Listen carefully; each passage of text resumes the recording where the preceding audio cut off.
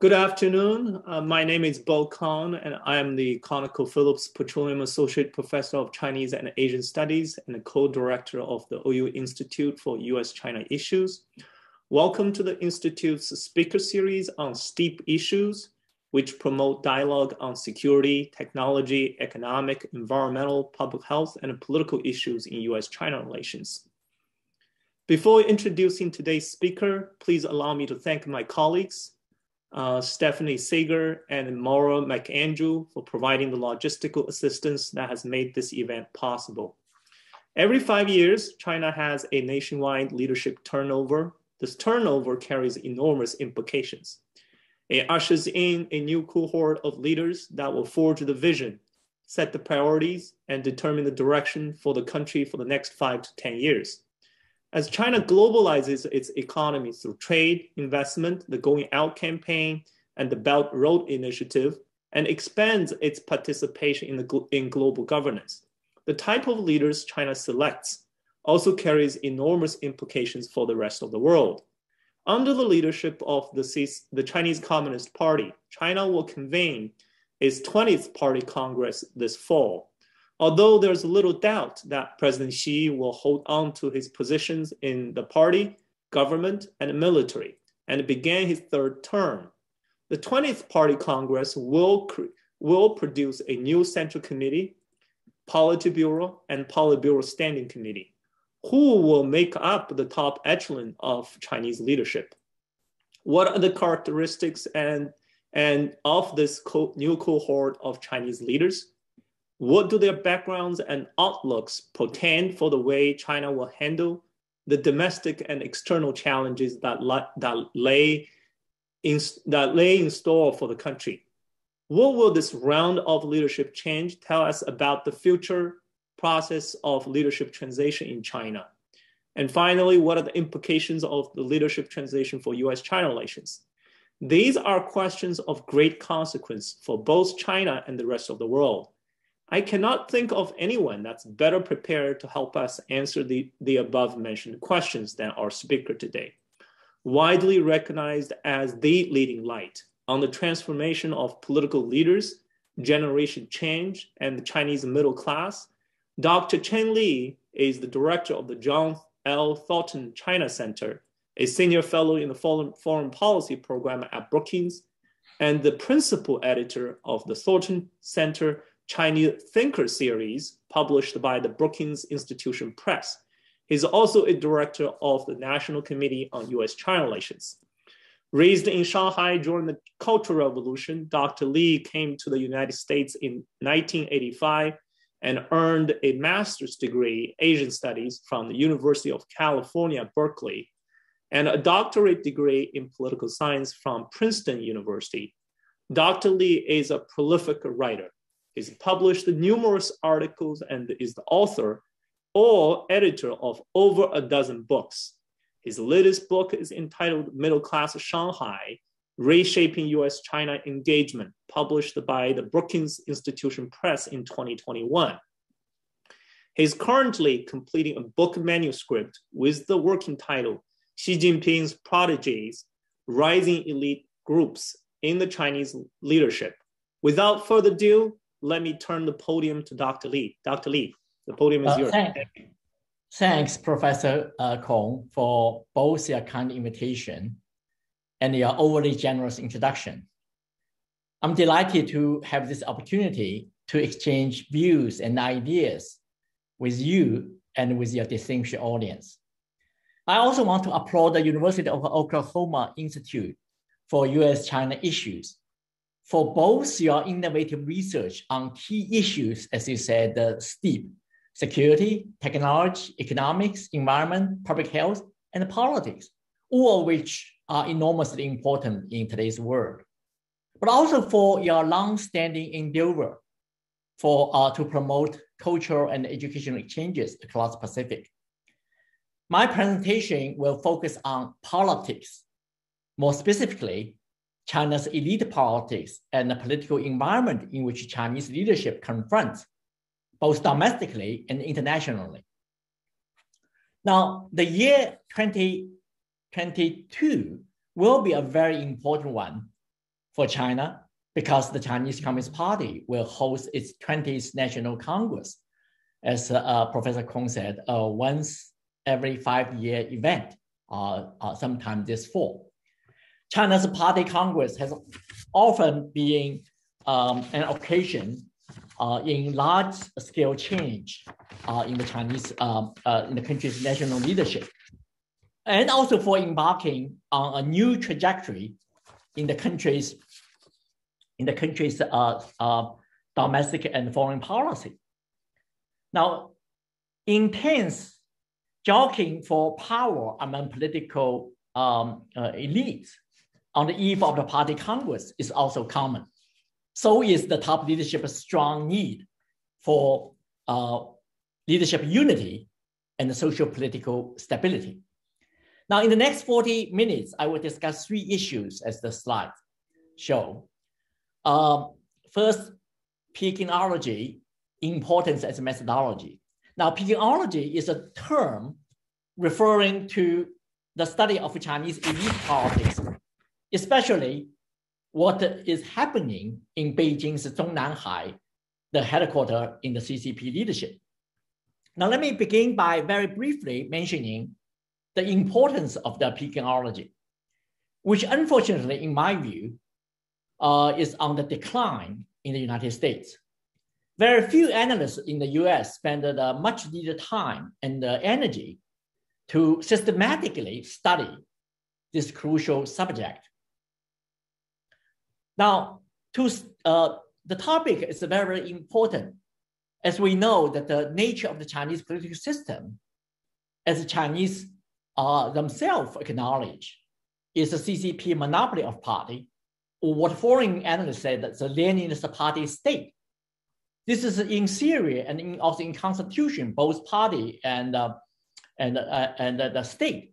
CCP is entitled to control over the army, personnel, which means the uh, leadership appointment, media, the legal system, also the youth, according to the Chinese Communist Party uh, constitution. Now, to a great extent, the elite you know, politics in Zhongnanhai or in Beijing is the only game in the town. Xi Jinping also recently said, I quote, the key to the great rejuvenation of the Chinese nation lies in the party. Um, in his uh, uh, recent speeches, he talked about importance of the small number of key officials in Chinese, or in his term, it's called 关键少数. Now, to uh, state the obvious, the CCP elite politics, its composition and the cohesion have profound implications for the United States, especially um, now that China has immense, immense more influence on the global economy and regional security than at any other point in modern history. Let me start with the structure, uh, because some of the, uh, you may not be very familiar with the political uh, the organization structure of China. So let me very quickly mention some of them. Now, this is the once every five year National Party Congress. The Party Congress um, is only held once after the Party Congress. The older delegates will uh, no longer work. They will not uh, uh, meet again until five years later by different group of people. Now, in, the, in that Party Congress, um, they will elect or select two uh, important uh, committees or commission. One is the Central Committee. Um, the other is the Central Commission for Discipline Inspection, which is the anti-corruption uh, monitoring body, which, is less important uh, compared with the Central Committee.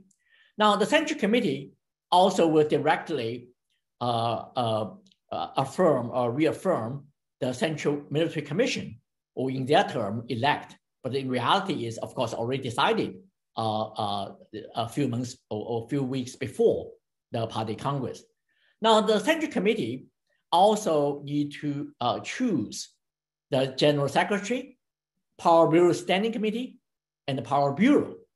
And the Politburo Standing Committee and Politburo will also appoint the people, not so many, seven, sometimes um, uh, uh, eight or nine uh, members of Secretary which is like the general office of the, of the White House or chief of staff of the White House, but this is the, the important body to handle daily routines uh, in terms of paperwork, paper flow, and uh, also meetings and some of the preparations. So, so this is structure. Now, as for now, the Communist Party, uh, about a few months ago, uh, they announced that the total number is 95 million. It's really uh, quite, quite a, a, large party. As we know that it's more than the entire population of Germany, which is 80 some uh, million.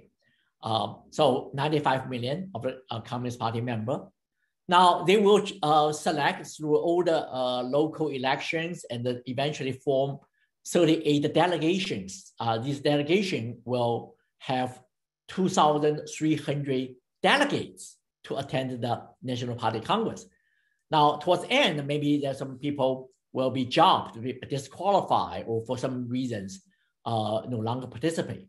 But uh, this number, 2,300, was also the number, you know, for the last party Congress five years ago.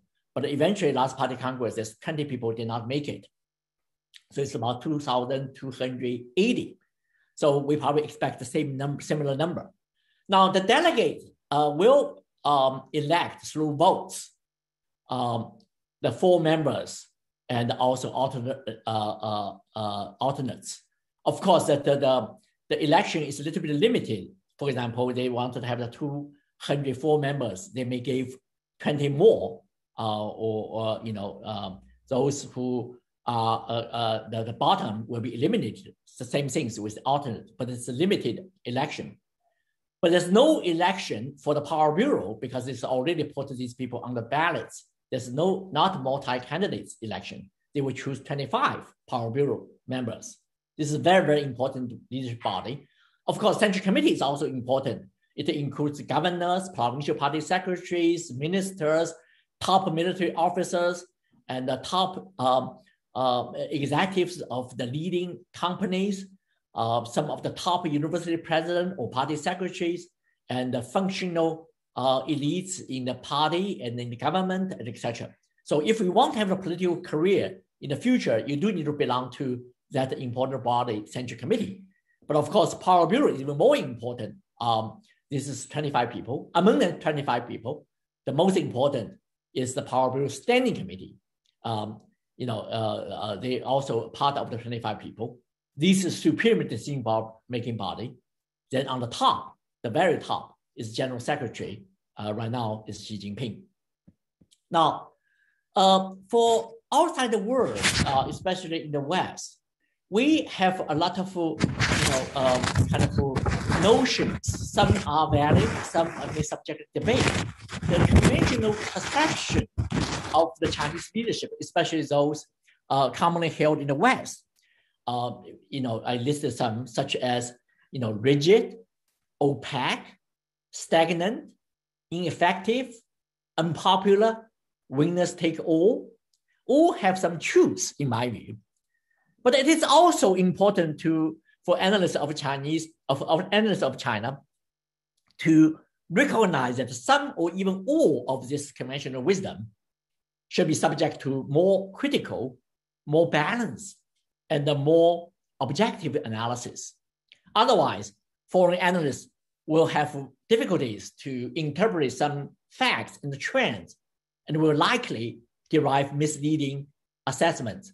I will say that um, our you know, uh, assessment or prediction of China you know, made a lot of serious mistakes over the past few decades. Sometimes over, underestimated, sometimes overestimated.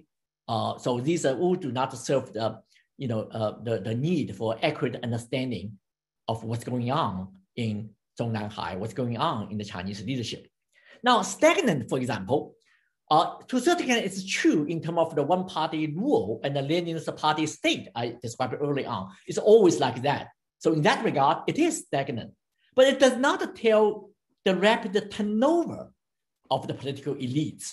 Now, let me share you with some slides. This is the last party Congress, the most important leadership bodies, um, including Central Committee, uh, Central, Military, uh, Central uh, Disciplinary Inspection Commission, Secretary, Politburo, Power Bureau Standing Committee, and the Central Military Commission. These are all very, very important leadership body.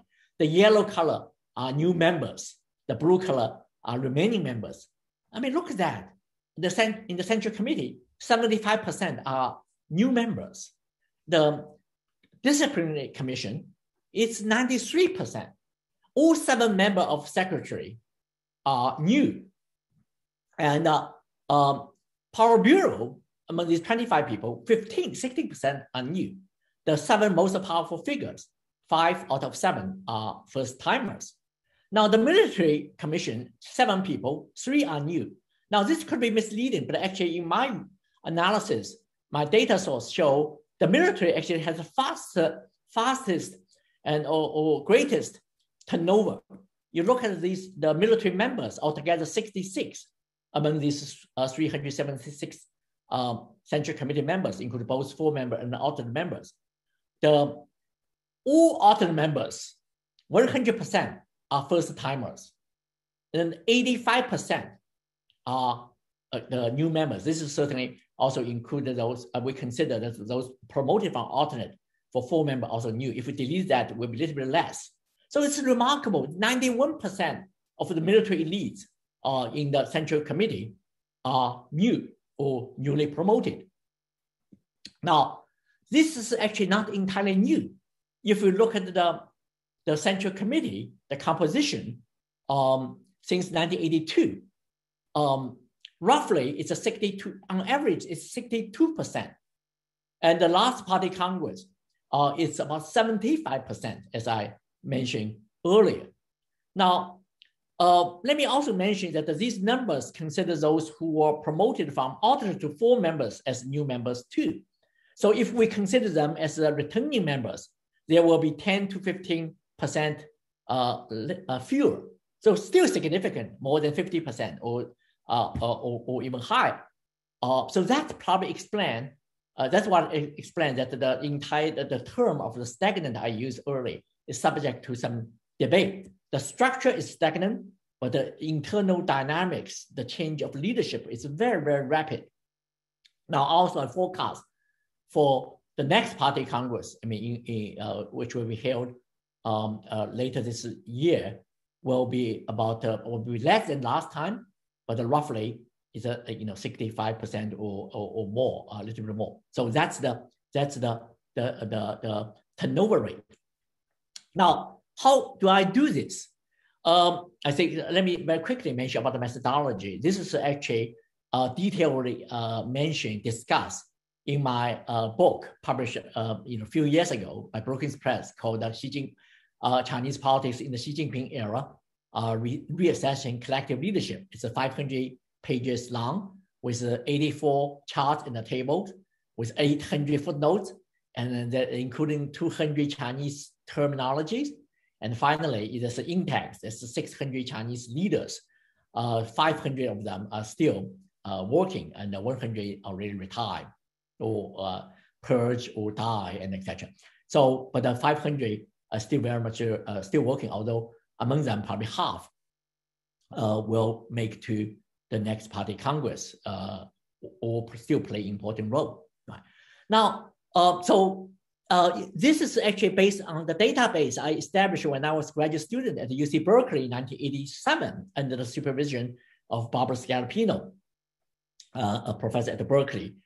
And uh, uh, by now, there's uh, about nearly 30,000 elites information. Each of them has somewhere 90 uh, entries or to between 90 to 100 entries, although not not complete. Some are missing, but the, uh, the, the, categories they try to input the data is about the about the 90, 90 regular entries or inputs.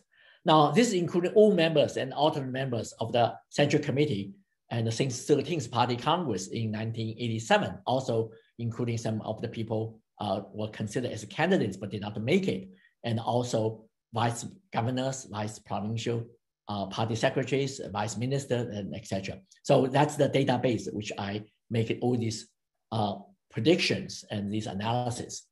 Now, also, I want to, uh, so again, for more information, you can get the, uh, the definitions or categories or methodologies and detailed sources, you should uh, check that book. But also that I'm writing a series, uh, started about a few weeks ago. Uh, it's a, published by a journal, uh, online journal called China and the U.S. Focus. So it's a, it's a, called a reshuffling report. Uh, this is first uh, piece. So far published three pieces.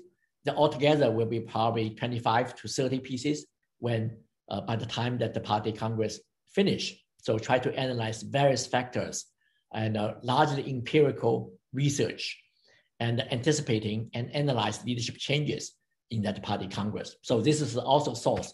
If you are interested in that subject, uh, you know, please check these sources.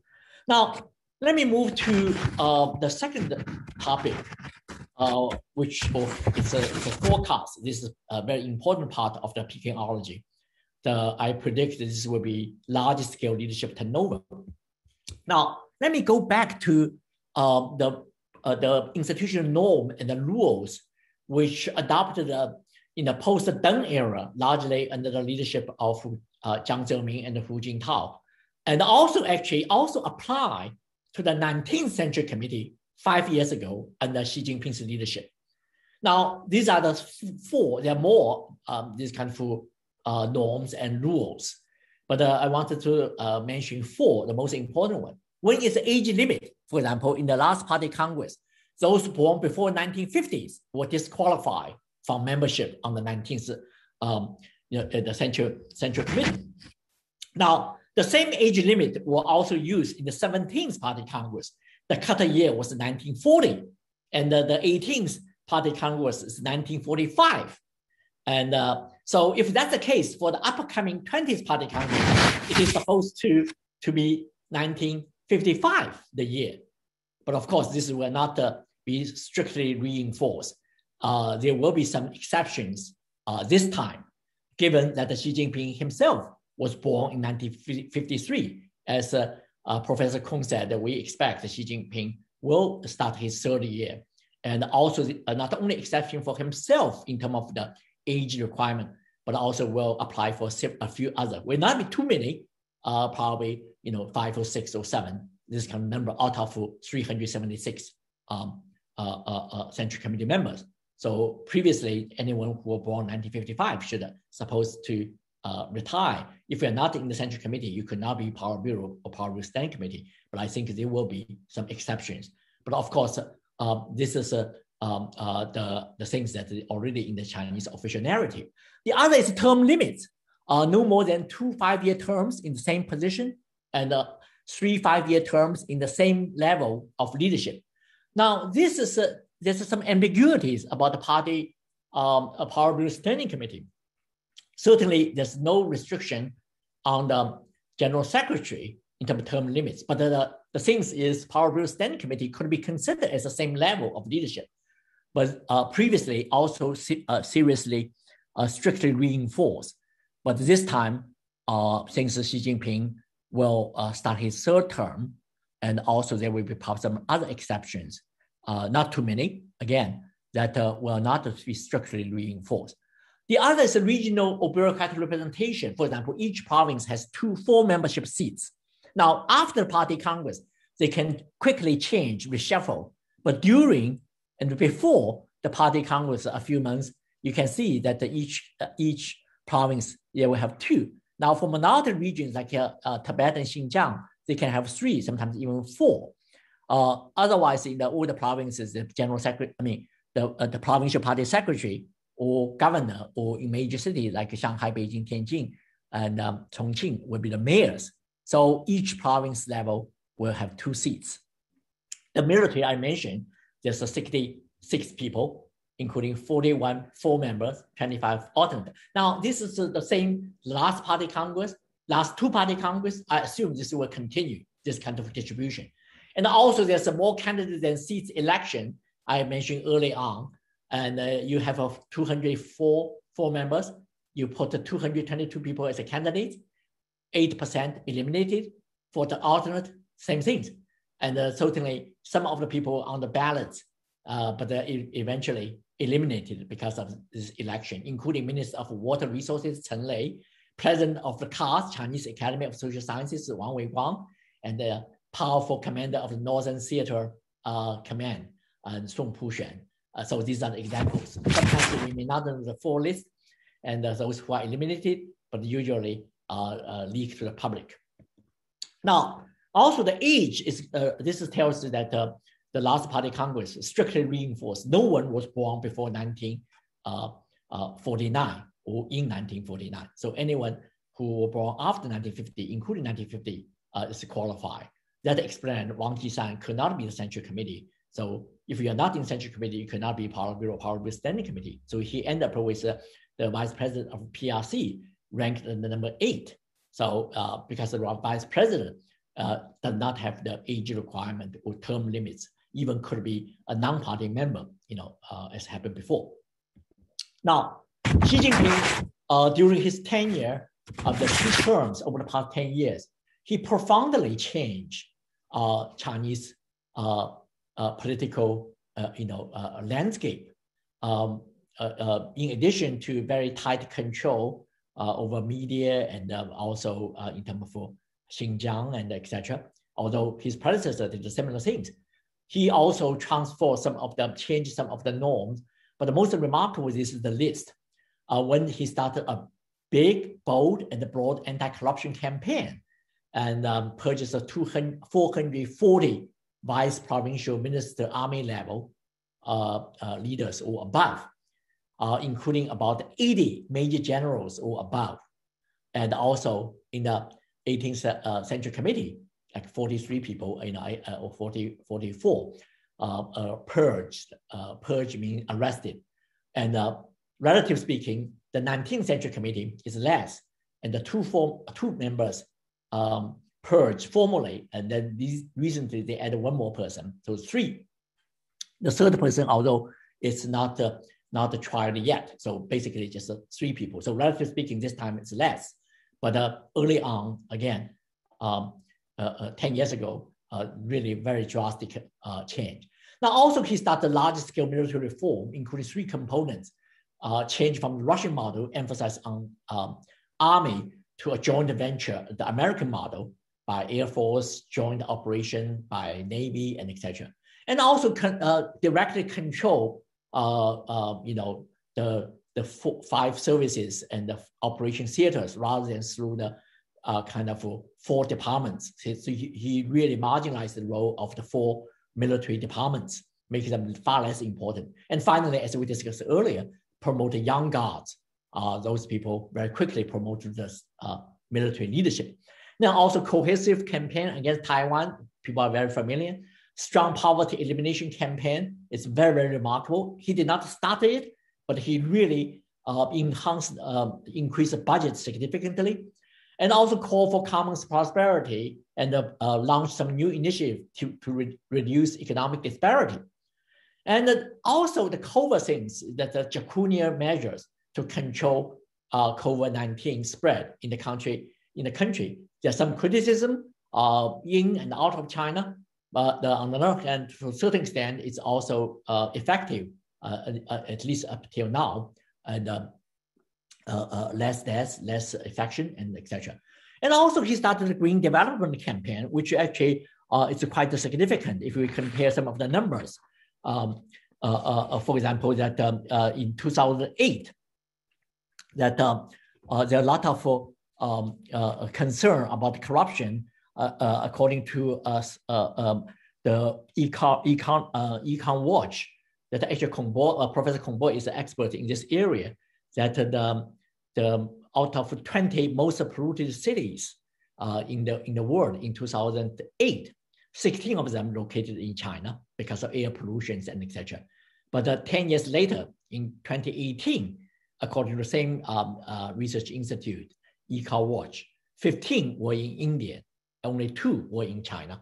So Xi Jinping certainly claimed that uh, under his watch over the past uh, uh, 10 years or, or less, that uh, there's tremendous progress in environment protection. Of course, China still faces some serious pollution environment degradation, but improve in a significant way. And finally, it's a new uh, proactive foreign policy, including Belt Road Initiative and the AIIB, uh, and also try to establish global partnership network especially in uh, South America, in Africa, in the Middle East, and etc. Now, so these are the, the change. Now, let me show a few things. One is the anti-corruption. You look at the, the this include uh, uh, Zhou Yongkang is a Power Standing Committee member. One of the seven was purged. He was also in charge of the security uh, uh, uh and police. Then the four, four top military officers also purged. And uh, uh, two of them are now in jail for life. One already died because of, of um, you know, personal health problem. The last one, Zhang Yang, committed suicide. So again, these are the highest, the highest ranking officers or purged. You can see how bold, how decisive Xi Jinping's anti-corruption campaign. Now, this is the poverty elimination that Xi Jinping launched. Now, again, as I mentioned, it started from Deng Xiaoping, and uh, uh, but the rocket from 19, um, I'm sorry, from 2012, the budget increased drastically. This is the year Xi Jinping became top leader. So so he got a lot of credit by uh, not only just poverty reduction, but in the Chinese term, to precision poverty elimination uh, with uh, that kind of effort. Now, Xi Jinping presented himself as a man of the leader of the people, uh, distant uh, himself from the princeling of uh, the leaders from the prom- prominent family background. And his populism and his call for common prosperity actually started day one when he became top leader, now certainly become the national policy or development strategy in the country.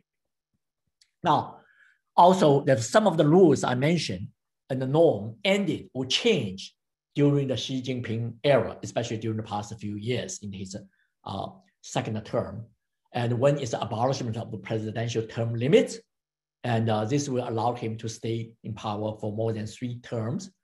And also that uh, previously restrict, strictly reinforced mandatory retirement age is no longer will be re, uh, strictly reinforced. Uh, so at least there will be some exception. And the factional balance, previously there's a two like a coalition competing or balance each other by Jiang Zemin's uh, group and by Hu Jintao's group uh, in Politburo Standing Committee and Politburo, largely balanced or equally distributed, but not anymore uh, Xi Jinping's people certainly has the majority. And also under Xi, Deng Xiaoping, there's some kind of succession norm. You will identify a, a, a possible successor after the next leader. So this is called a grandpa kind of uh, designated successor, uh, although never formally announced. Like uh, Deng Xiaoping not only decided uh, the uh, Jiang Zemin, but also decided uh, Jiang Zemin's successor Hu Jintao. So if that's the case, that uh, that you know Hu Jintao, uh, you know, not only decide, not only let Xi Jinping to succeed him, but also want to designate little Hu, Hu Chunhua. That was the previous model, but certainly no longer valid. Usually, you should put that person to practice in the Power Standing Committee for at least five, maybe even 10 years. But it did not happen in the last Party Congress. So, of course, Xi Jinping uh, so far has no identified successor. And also that the change the role of general secretary. Previously, is uh, the general secretary under um, uh, in the post uh, Deng era, especially under Jiang Zemin, especially under Hu Jintao, they called first among equals. But Xi Jinping certainly is above the uh, first among e- equal. Uh, and these other colleagues in the Power Standing Committee need to give a debriefing report, 述职. And just a few days ago, they had the annual 述职 but also Xi Jinping will give the personalized comments. So relationships start to change. So in a way, it's a consolidated power to try to reduce the fragmentation or infighting in the top leadership. But of course, that uh, some people think that's a good move. Some people think that uh, uh, uh that's away from the institutionalization, move away from institutionalization. Different people have different assessment. Now, let me predict or forecast um, the leadership things. Um, the some we can expect, some uh, unclear for now. Uh, it's for sure Xi Jinping will have his third term and will further consolidate his power. And also turnover rate, as I mentioned, will be still be very high, two thirds, but lower than the last party, the previous Central Committee, which was a uh, uh, you know 75%, will not be that high uh, for the reason that the, the anti-corruption campaign will not be that scale, and also um, you know uh, uh, I will give you the detail, the current status to support that uh, prediction.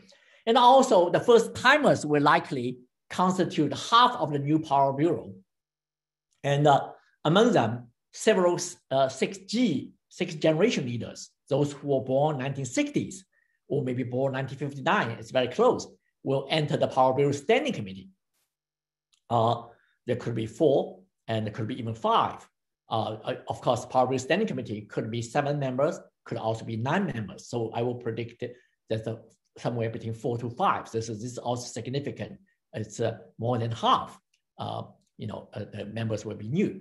And also a few exceptions for age will likely be made for both retirement and reappointment. For example, if you, you were born after 1955, you're supposed to stay on, but for some reason that you need to vacate your seats.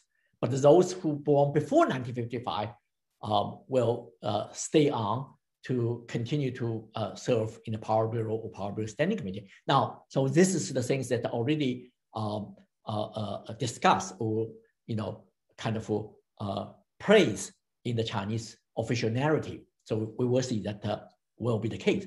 Now, some things we do not know. One is we do not know whether Xi Jinping will designate a successor. I cannot say for sure, but uh, you know, 95% will be unlikely, but it's not 100%. So let's see.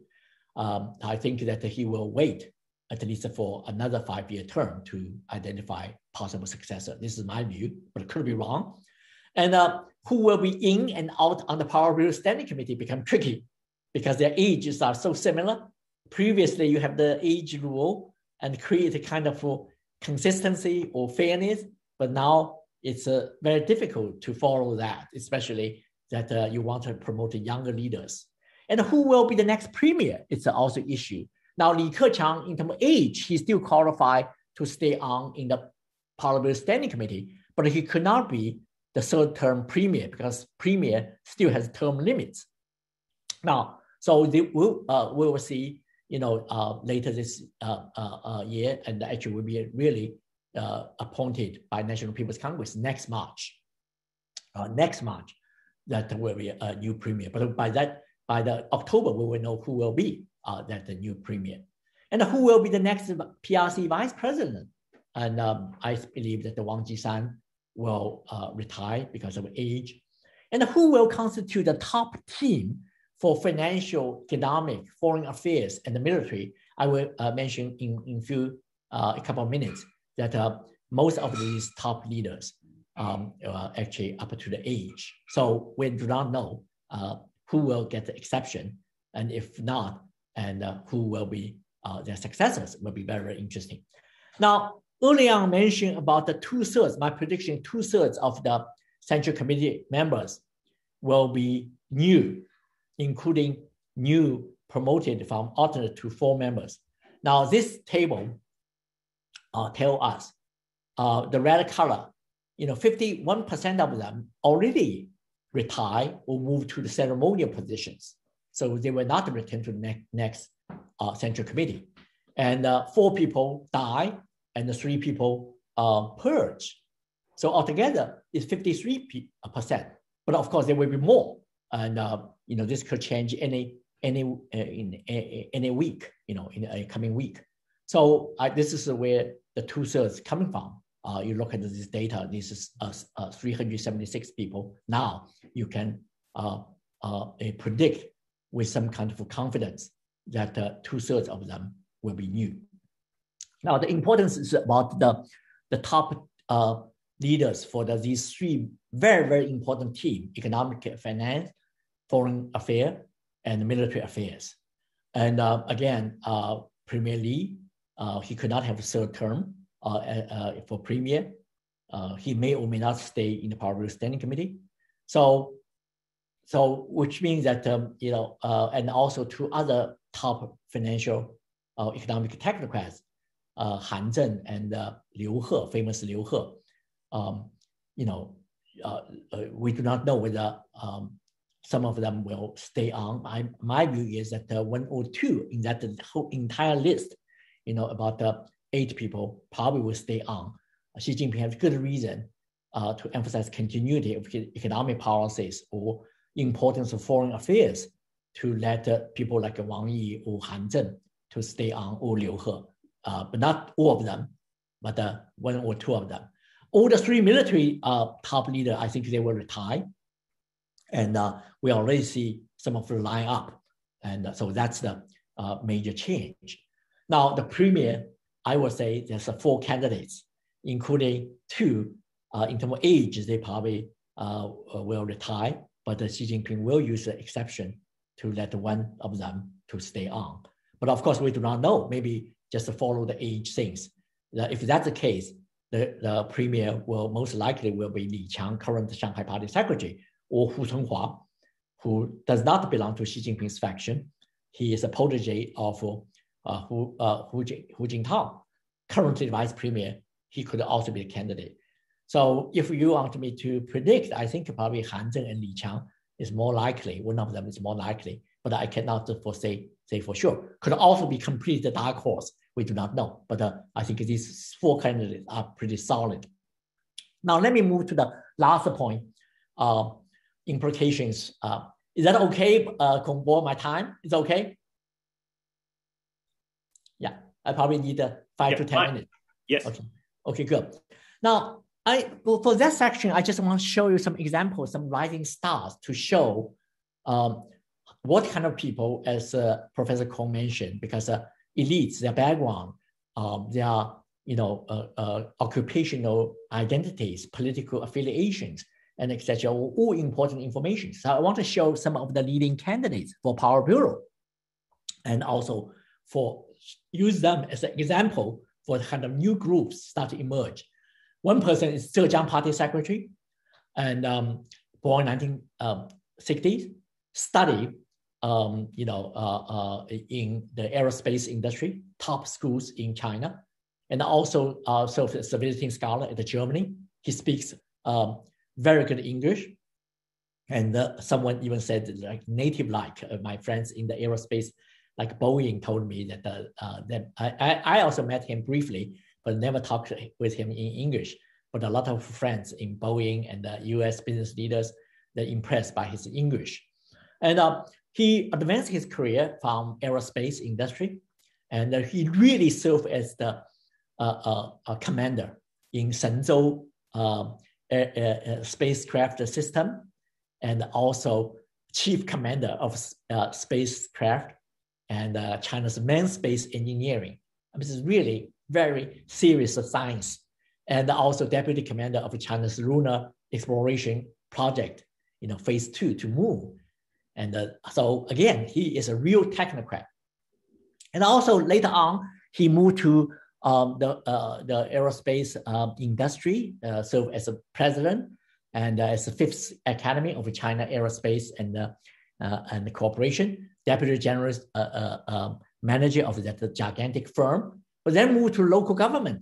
So briefly as the vice governor of Ningxia, then executive vice governor of Zhejiang, and right, and then before become party secretary, he was the number two person, is the governor of Zhejiang and uh, he currently is party secretary of Zhejiang. So this is a uh, show you it's people from aerospace, uh, uh, not only like him, but there are several others, including like Ma Xingrui, just appointed as Xinjiang party chief. Uh, it's similar background and uh, top-notch, um, you know, executive or technocrat in the aerospace industry. The other one is Beijing mayor and in the energy sector, in the environment protection, I, I think that the Kong Bo probably know, know him. Um, he studied at Tsinghua, but got his PhD from London, from the Imperial College. And he spent altogether 10 years in London. And um, of course, no comment about his English. Of course, very good, right? And uh, uh, but after 10 years uh, study and work, he returned to China, advanced his career from Tsinghua University and um, as department chair and vice president, president, and then serve as the uh, Minister of Environment Protection. Uh, he's currently mayor of Beijing. In the uh, you know closing ceremony, you see that he um, pass the, the, the flag of Olympics to uh, mayors of Italy. Right? So that's uh, uh, Chen Jining. Um, he will be a candidate for the Politburo. Now, at the time that China emphasized the alternative, alternative energy, uh, carbon neutrality, he will be a perfect person uh, to be a counterpart as uh, you know to to discuss about the climate change and uh, and etc. So he is a, a already important position. Highly likely will be get further promotion. Another person is Fujian Party Secretary, also born 1960s, studied medicine, is a medical doctor by training, and he was a visiting scholar at Harvard University, not in the Kennedy School, but in public health school, but also studied, um, got his PhD from Russia. Not so many Chinese elites got their degree from Russia, but he's one of them. I think in the near future, we will see more people um, study Russia probably start to emerge in Chinese leadership. But relatively speaking, compared with those Western trend, it's a still small number, but he is an exception. And uh, uh, he also a top-notch medical expert and uh, served as vice chairman of the executive committee of WHO for two years. And he largely also represents the work in the think tank, in particular in the public health with the state council and etc. And has a solid experience in public health uh, uh, uh, bureaucracy, and also served the director of the State Food and Drug Administration for two years. And before he became party secretary of Fujian, he was a governor of Sichuan so again, uh, at the time that the public health and uh, uh, becoming important, he is well positioned and also a candidate for the next Politburo, if not next time, but also probably the, the term uh, after. But of course, I don't want to give the impression that the, Chinese leaders all like the three people I mentioned, well-educated, the technocrats, cosmopolitan view, good uh, leadership experience. There's some different kind of people Xi Jinping also want to promote. Uh, most noticeably, the Urumqi party secretary. He come from a completely different background, did not go to a top elite school, but went to the party school of Xinjiang and uh, served as local government, also was a soldier and the PLA uh, for uh, four or five years, and advanced career step by step from a local administration and uh, gradually moved to important position. Uh, Chinese media now actually um, uh, really uh, try to promote him, particularly his tough line over Xinjiang. And uh, he is currently the uh, party secretary of Urumqi. He will enter the, uh, uh, the central committee uh, for first time, his first timer, probably not in the politburo, but someone similar to him may also have a chance to move to the politburo. But it's just a good example to see different kind of leaders, although probably small number, but Xi Jinping also want to promote. So it's a good balance will be very interesting to see that the balance. And uh, now in terms of economic policy, I do not, because time constraint, I do not want to do, do uh, too much detail. Just want to mention there's a new different development model, uh, uh, uh so-called third special economic zone. We know the, the first two is Shenzhen and Shanghai's Pudong, but this will be different development model. It's not by market driven, uh, by export, foreign investment, but rather by domestic demand by innovation and by community housing, not by property development, and uh, more sustainable and uh, supposed to be more innovative, more green development, but tremendous resources already input. The concern is whether this is driven by market or by planning and etc. But this will be different model. It was heavy emphasis on uh, community development and common prosperity and etc.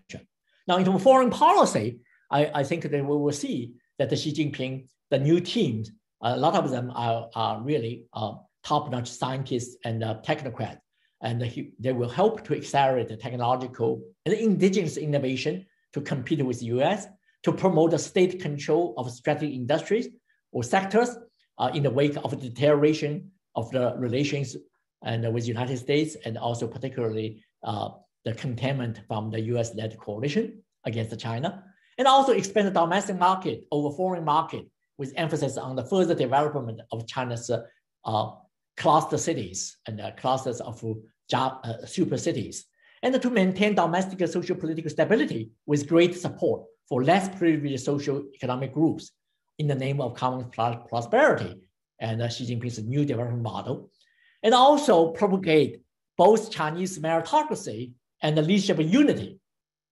On the eve of the 20th Party Congress and beyond, especially targeting China's neighboring countries and the countries in Africa and South America uh, with China's own development model. And finally, to enhance China's influence and leverage in the rapidly changing international environment, especially in the wake of, you know, um, uh, uh, uh, Russia's invasion of, uh, you know, uh, uh, you know, the, the, the Ukraine, and uh, also early on in terms of the uh, Russia's interference on Kazakhstan. Now, uh, to end, I also wanted to go back to Shanghai and uh, because some of the leaders advanced their career from coastal region, including Guangdong, Zhejiang, Fujian, Zhejiang, and Shanghai.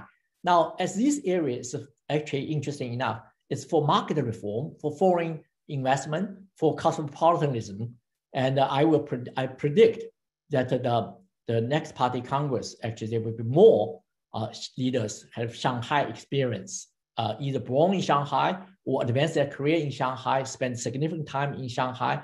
Of course, with exception, Xi Jinping only spent eight months in Shanghai as the Shanghai party chief, but he really promoted a lot of people from Shanghai to important position or appoint his own people to serve as Shanghai leaders for many years. And uh, so I will say that uh, depends on whether seven or nine, that uh, will be like a 57%, um, you know, uh, Politburo Standing Committee members. These are the most powerful superior leadership body from Shanghai. Now, for more information, you can look at my Shanghai book. It's already published. There's one chapter about Shanghai leaders, and they really have different characteristics. Um, they are contact with the West, and they are market driven, and they are pragmatism. But also, the other book is Xi Jinping's protege that will supposed to be published this summer or the fall about the new elite group. Thank you very much. Over.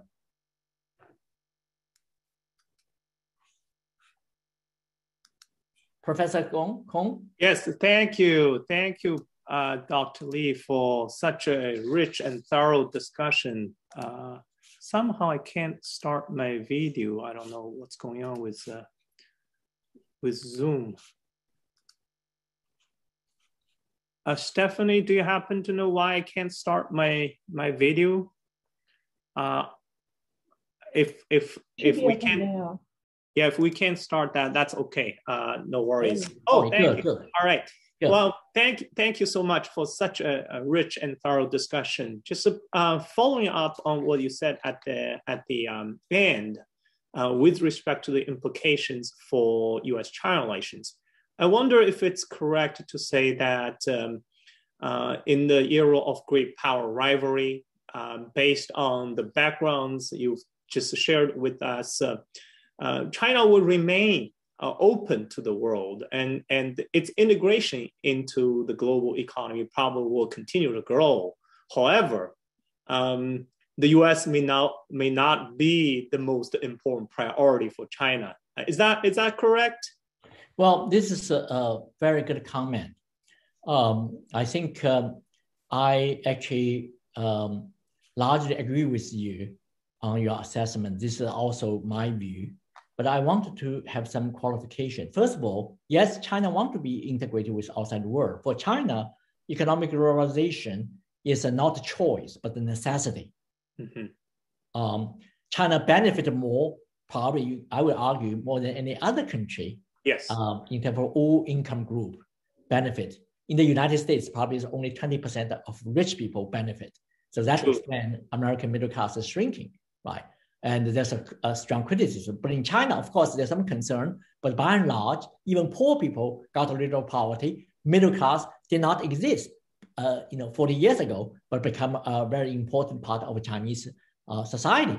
They all benefited, and of course, not to mention about the elites. So for them, and also China lack of natural resources, you know, you know, uh, uh so well, and so it's not a, a, a, a choice, but a necessity. Mm-hmm. That's explained the Belt and Road Initiative and many other things.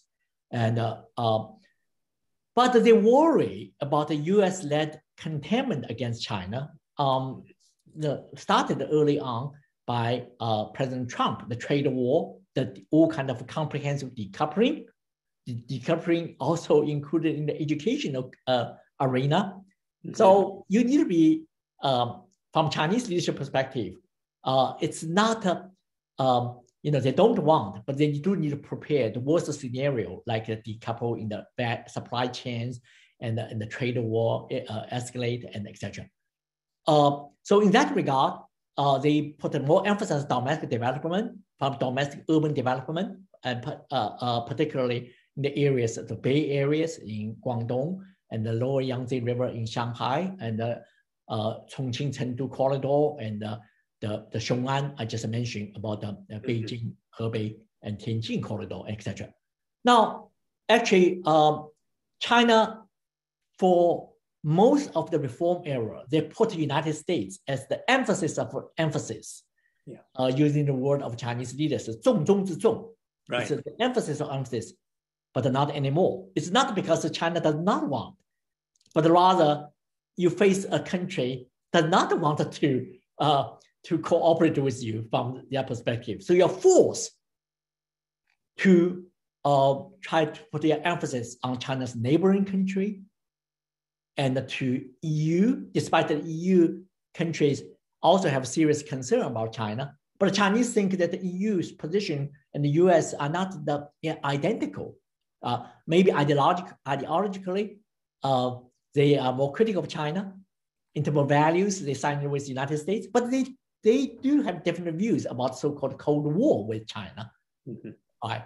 Uh, that's explained that the Biden actually uh, also spoke in the United Nations saying that we are not going to fight a Cold War with China, although to a certain extent that already looked like a Cold War against China. This is largely because China's neighboring country, um, including South Korea, to a certain extent, including Japan, does not want to necessarily go back to Cold War with China. Certain European countries, European leaders, including a British leader, said that uh, again, we do not want to uh, go back to the Cold War with China. We have serious concern about China, but uh, they wanted to continue to engage with China, especially like uh, Germany. You know, for five years, consecutive years, China is the largest trading partner.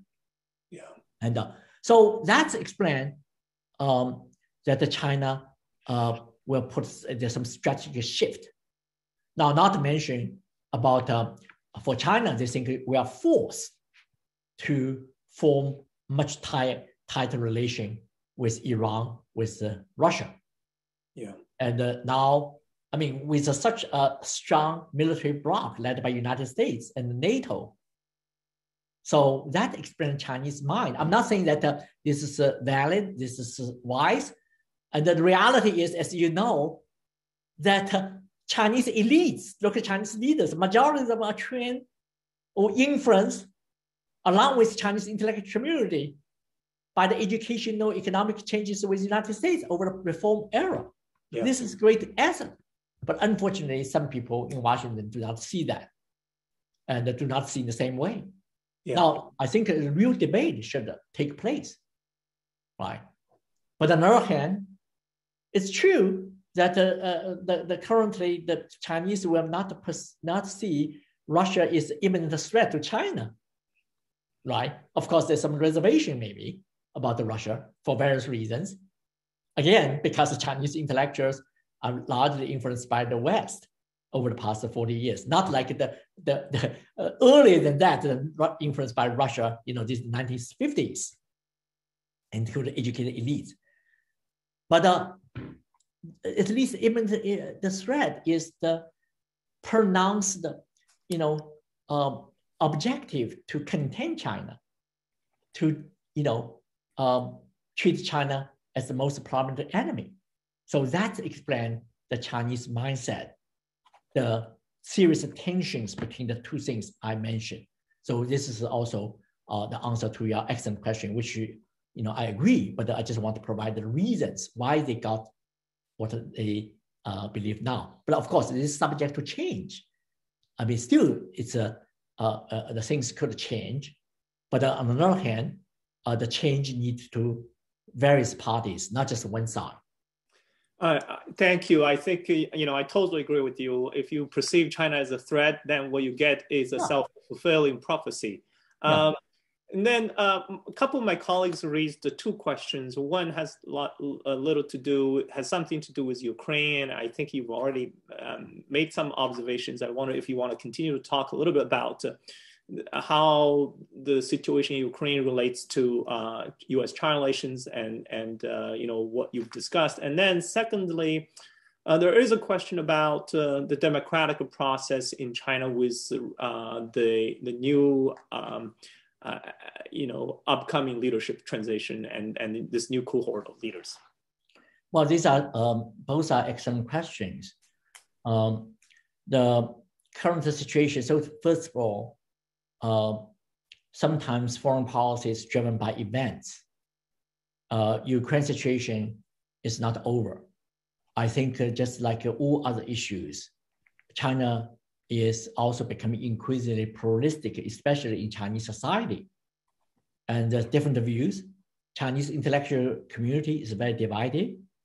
And uh, uh, Chinese public views also um, on the one hand, you can see nationalism is on the rise uh, for the reason that I do not need to explain to this group.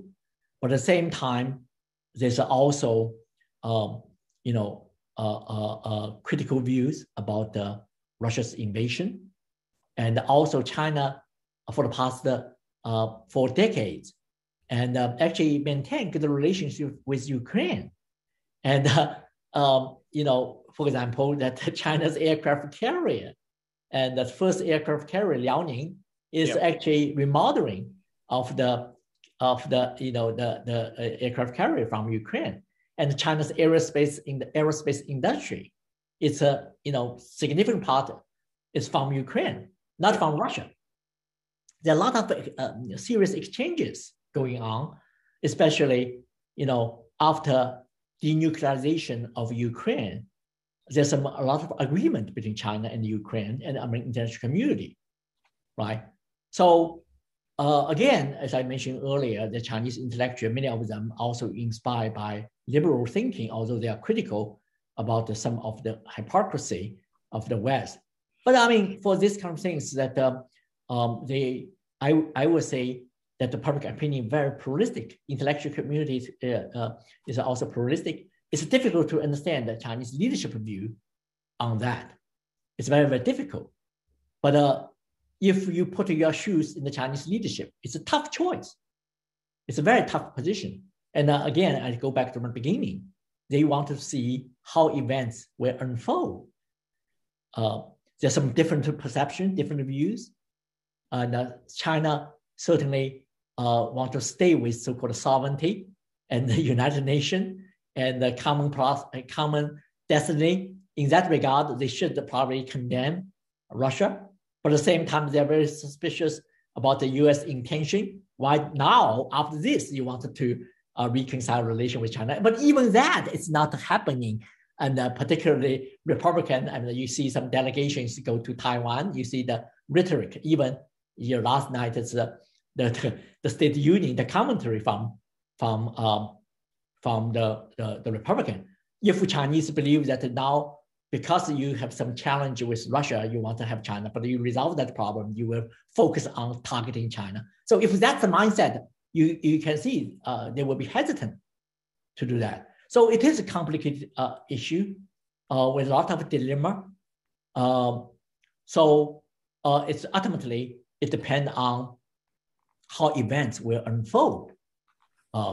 So this is uh, what can I say? I do not want to make a simplistic generalization. Uh, that you do see uh, China um, did not go along, uh, you know, in terms of give a yes vote in the in the United Nations uh, Security Council and uh, uh, absentee. But that's actually it's a quite interesting. But of course, that um, that early on, the, we do not know whether the Chinese leader know knew uh, when voting with China? No one knows. I, I do not know. I mean, um, um, probably very few people. Even that probably it's very subtle. But the thing is, things change, and uh, so we do need to be a little bit cautious to not jump to the conclusion. But I think this event certainly show, uh, just like what happened 9/11, at least the immediate threat is not from China, and uh, uh, uh, uh from terrorists, from uh, um, Al Qaeda, and from now this time from Russia, right? Now, but I think that the United States in the mood still think China is the most important and uh, you know, you know enemy maybe. Uh, so if that's the case, so that also explains some Chinese hesitant. Now the other question is excellent. Or two is about democratic process. This is democratic process. I should put that way. This Chinese style, the intra-party mechanism. I will not put it in a way like the Western style democracy. They will also certainly reject Western style democracy themselves. But it's kind of political experiments started by Deng Xiaoping. Now, let me also say that the, the, the China analysts, the Pekingologists, were very cynical about any real political reforms in China. But after Xi Jinping claimed the term limits, then people talk about how great the previous experiments were. But at that time, early on, only like uh, Michael Lampton, myself, many, some of others say that, that these are important, serious institutionalization, like uh, like uh, you know Alice Smith, like uh, um, Tony Tony Saich, uh, uh, Michael Lampton, your teacher, right? I mean, uh, very very few people argue that that we need to pay attention to the institutional development experiments, term limits, so-called collective leadership. But majority of China hands disregard that. But only after term limits abolished, people say, "Oh, how great!" The previous system. So I mean, that kind of cynicism make people wonder. This is what I'm saying. I'm very um, disappointed by the, the Pekingology. We're supposed to improve, but uh, uh, that uh, really does not serve American interests. Uh, now, certainly, Xi Jinping, uh, uh, and also the previous collective leadership, the internal check and balances, right? These regulations also have some side effects fragmentation, mm-hmm. right? The, the seven member of the Power Standing Committee or nine member of Standing Committee, they do they only control their own bureaucracy. There's also disobedience of the civilian leadership by the military. And there's also Bolshevik style, Western style campaign to for self-promotion. This could be also serious problem, not to mention about the corruption mm-hmm. and etc. So sometimes um, you know, uh, again, it's just want we put us in perspective how one event lead to other. I'm a strong believer for democratic process. I'm a strong believer for check and balances. But the, the, things is, should, should work in the context in China, should be very cautious about the, the cultural background to push for real change, lasting change, not abrupt change, sometimes lead more chaos, right? So again, um, at the moment, certainly um, the Western influence decline, Western yeah. democracy, um, it's not, uh, you know, it's so, you know, influential at the moment. And um, largely because of our own mistake, our own mean Western democracy, we experience our problem. But uh, having said that, I think that uh, uh, just like uh, my friend, uh, Keping said democracy is a good thing. I still, still belong, uh, believe, but certainly should be Chinese style with Chinese characteristics. This is fair to say because democracy is different between, between even Western countries, among Western countries, etc. So how to prove that?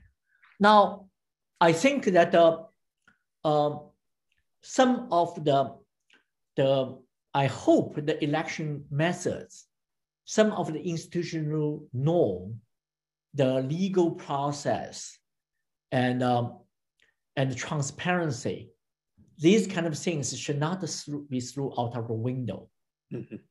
and uh, i think that if you do so the backlash could be very very strong mm-hmm. because china is a modern country you do need to use some modern method democratic method so i think important thing is, is to adapt to the new environment to make changes. Again, I do not want to go to the Western style democracy, no, but go to the China's own style check and balance or institutionalization. Now, people may give Xi Jinping a few more years to let him to sort out because it's a special time, it's a difficult time. Uh, but we, we cannot delay the process for too long. When is it too long? I think it's subject to environment. Right. Uh, so that's my uh, answer to your, uh, your, your, your way. uh, your, your view. But I think that uh, uh, I think that the institutional mechanism uh, should be in, uh, included, and uh, should I do first of all I do not see winner takes all will be really effective, and also if they become you all own your people, there will be internal div- div- divides. Remember, Xi Jinping was a protege of Jiang Zemin, Zeng Qinghong. Yeah. Right? Princeling, but he moved away from princeling very, very effectively. So this is a constant dynamic.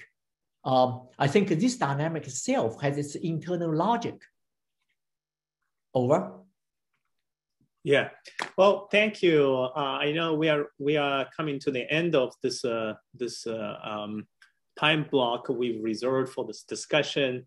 Um, I don't want to open another can of worms, but just very quickly, what are the implications of leadership transition for market reforms in China? Is it true that market reforms now carry a different meaning than before? In before, you know, market reforms mean, for example, liberalization, privatization, you know, increasing congruence with international standards, etc. Now, market reforms have a different meaning. It means, you know, based on what you've decided, discussed a moment ago, means you know, uh, role of state and and uh, empowerment of uh, national champions, etc., etc. Is that is that is that reading uh, uh, correct, or is it off balance? Well, there's some legitimate concern about uh, um, the emphasis on state-owned enterprises or overemphasis on state-owned enterprises. There's some serious legitimate concern about the the small and especially trivial uh, private firms have difficulties. They um, huge unemployment, partly because of COVID, um, you know, uh, uh, uh, partly because of the structure change. So uh, private firms have some difficulties.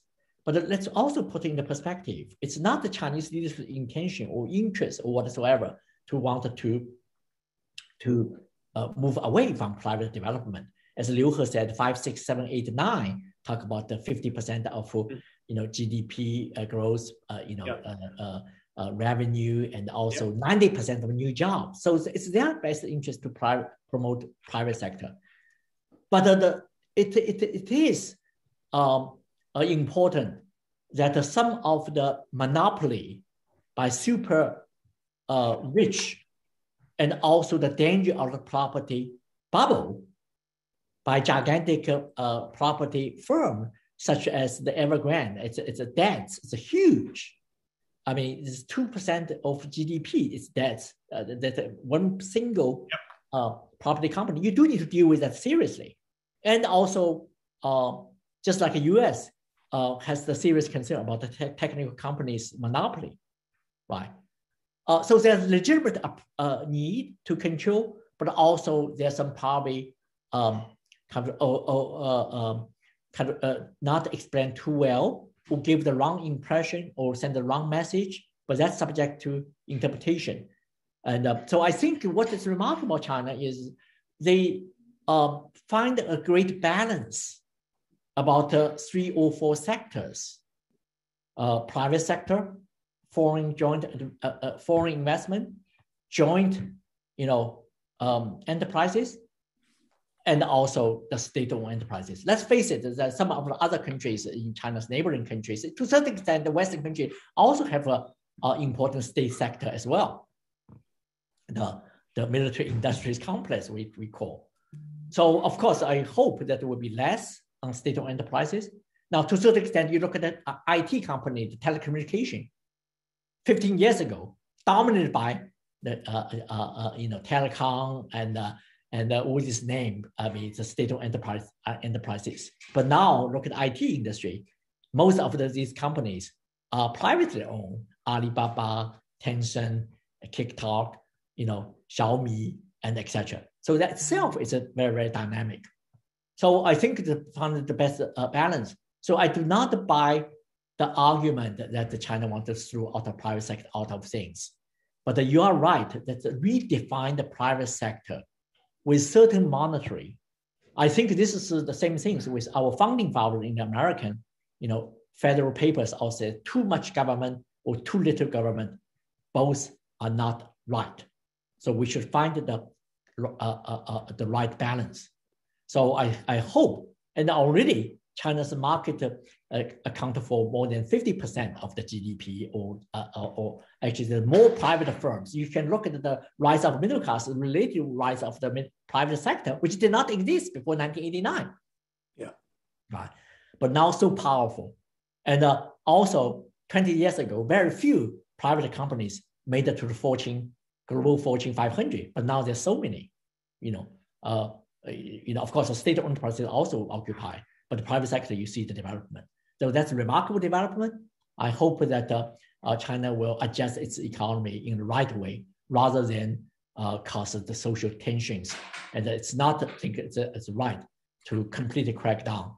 And, uh, but at the same time, you know, um, the excessive educational stocks or entertainment stock, I mean, you do need to adjust, to make some adjustment, but at the same time, you should give the room or space for some of the, you know, uh, uh, legitimate uh, use or development.